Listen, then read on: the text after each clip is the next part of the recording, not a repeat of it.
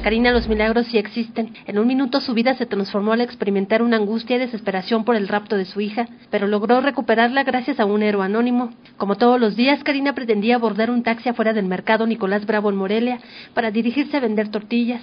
Jocelyn, su hija de cuatro años, se adelantó y subió al carro del alquiler mientras su madre acomodaba la mercancía en la cajuela, acto que aprovechó el chofer para huir con la niña sin rumbo fijo. Niña con todas las... ¡Ay, mi niña, ¿dónde estará? El taxista se lo llevó.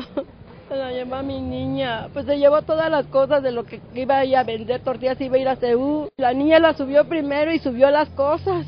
Y luego al tiempo de subirse ella se partió el taxi. La joven madre reaccionó de inmediato y pidió ayuda a un ciudadano que circulaba en su vehículo justo en ese momento. Siguieron por seis cuadras al taxi y así lograron recuperar a Jocelyn. El chofer entregó a la niña argumentando que se distrajo y no vio a la pequeña. Lo siguió y que por acá abajo lo alcanzó y que ya este le dijo y que dijo que, que no, no, no había sabido que la niña estaba allí. Gracias a Dios que ya está aquí. Con lágrimas en los ojos y su hija en brazos, Karina regresó al mercado en donde fue recibida con gran júbilo por sus familiares.